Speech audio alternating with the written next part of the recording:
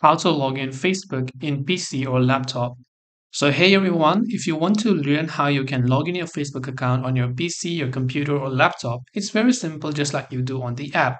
The only difference is that on your laptop, you will have to access it using your browser such as Chrome, Microsoft Edge, Mozilla Firefox, whichever browser that you like, right? So you have to open your browser and go to facebook.com. I will make sure to drop a link in the description box below as well. Once you go to facebook.com, here you can see a couple options on the right hand side box. First of all, if you have not yet created an account, you can just go to create new account button that you would be able to find there. Now, if you already have an account, I suppose, then you can go ahead and simply make sure to enter your email address from here.